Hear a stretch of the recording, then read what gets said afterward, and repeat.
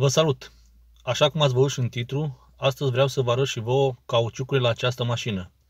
Este vorba de Dacia Logan 2018 1.0 SCE cu GPL montat pe ea. Mașina a fost cumpărată în 2018 uh, și am făcut cu ea aproximativ 90.000 de kilometri. După cum se vede, 88.275. Și nu am schimbat cauciucurile până acum. Desigur, ca orice român, la 50.000 de kilometri, uh, cauciucurile de pe față s-au uzat, așa că le-am schimbat pe cele de pe spate, le-am pus pe față și invers, pe cele de pe față le-am pus pe spate. Vreau să vă spun că de ceva timp, la viteză de peste 100 de km, a început să vibreze volanul din cauza cauciucurilor. Probabil s-au deformat sau nu mai sunt echilibrate cum trebuie.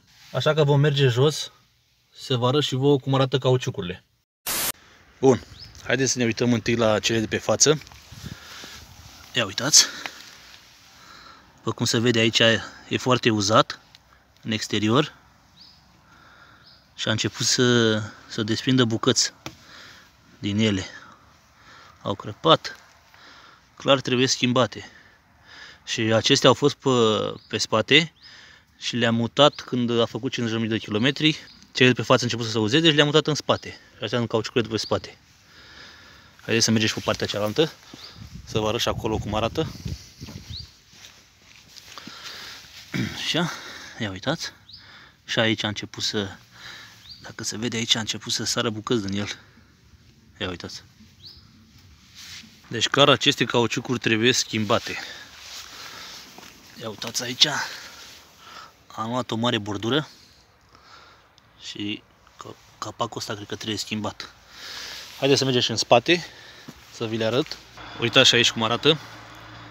Dacă vedeți, nu știu dacă se vede lumina asta, dacă așa cred că e mai bine.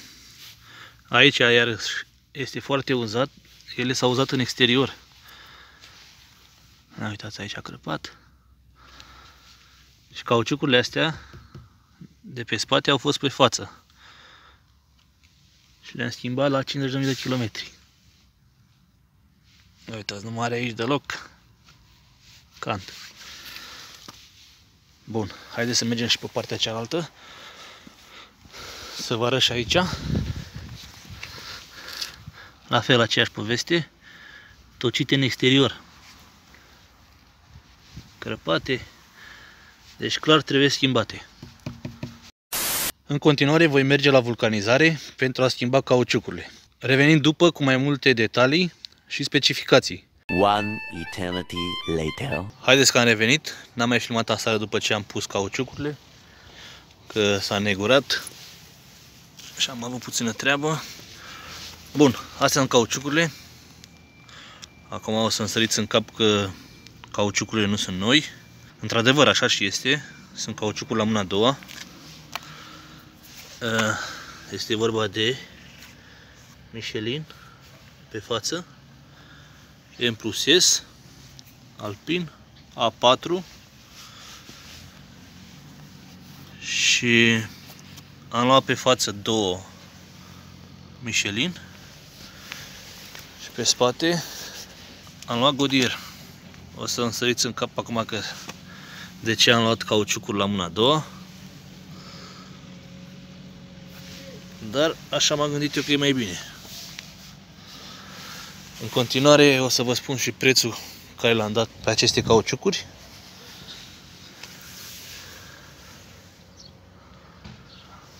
Și anume un milion bucata. Acum să-mi spuneți în comentarii părerea voastră. Dacă trebuia să iau noi sau dacă am făcut bine că am luat la mâna a doua. Bun, o să mergem acasă să montăm acest filmuleț și acolo voi pune câteva imagini cu prețurile pe care le aveau aceste cauciucuri noi. Și o să mai discutăm acolo mai multe detalii. Ok, v-am pus aici în dreapta uh, modelul de cauciuc pe care l-am montat eu pe față. Noi, 301, 300 lei și în partea stângă v-am pus cel mai scump 471. Aici am pus în partea dreaptă modelul de cauciuc pe care l-am pe spate, cel mai ieftin 285 și în partea stângă v-am pus modelul cel mai scump 421. În concluzie, dacă le alegeam pe cele mai ieftine, că normal că le alegeam pe cele mai ieftine, în jur de 300 de lei bucata, dăteam 12 milioane pe cauciucuri. Așa, cu 400 de lei am luat 4 cauciucuri și am rezolvat problema. De ce am luat această decizie? Pentru că eu făcând Uber cu mașina, într-un an de zile fac cam 45.000 de kilometri. 45.000, 50.000, cam așa. Așa că aceste cauciucuri o să țină un an, 100% o să țină. Înainte să schimb cauciucurile, cum le-ați văzut, cele vechi, m-au ținut 2 ani de zile. 2 ani de zile și cam 90.000 de kilometri. Așa că cu astea, dacă fac 50.000 de kilometri, eu zic că este o afacere bună. La anul, îmi vine iarna, le schimb iarăși. Dau iar 400 de lei, le pun, iar mă mai ține 50.000 de kilometri. Și uite așa, de bani ăștia de 12 milioane, pot să cumpăr 3 rânduri de cauciucuri și să mă țină 150.000 de kilometri. Nu doar 90 sau 100.000 de kilometri. Și plus asta că dai banii treptat, dai odată 4 milioane, o dată 4 milioane, nu dai toți, odată 12 milioane. Și oricum, cred că dacă era să iau noi, nu luam modelul ăsta Michelin sau Godier. Luam și eu pe cele mai ieftine. Undeva la 1.600.000 sau 200 de lei maxim pe cauciuc. Bun, asta a fost părerea mea. Dacă voi credeți că aveți altă părere, nu uitați să lăsați acolo un comentariu jos, să-mi spuneți părerea voastră, să vă abonați la acest canal dacă n-ați făcut-o încă, să dați un like. Eu am fost Nicu, ne vedem data viitoare, pa, pa!